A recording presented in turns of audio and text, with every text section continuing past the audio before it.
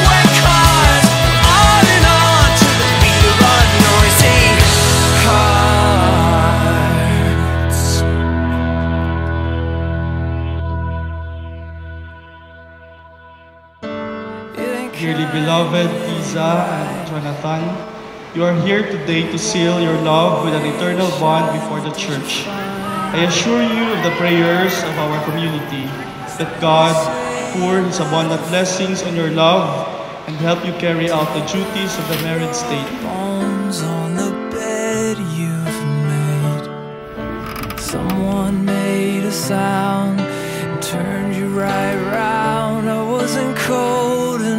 care. Brother, I dared. See you tear